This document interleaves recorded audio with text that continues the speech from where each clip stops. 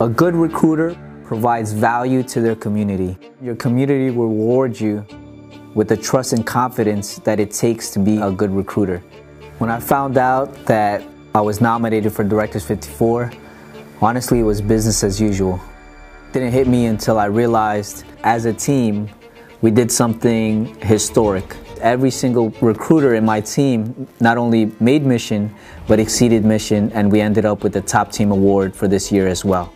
And it was a testament of our hard work. There's no secret formula to success when it comes to recruiting. A lot of it is just being present, working hard, and continuing to build your brand as a recruiter. And if you could accomplish that and you take care of your soldiers, take care of your recruits, you will be undoubtedly a good recruiter.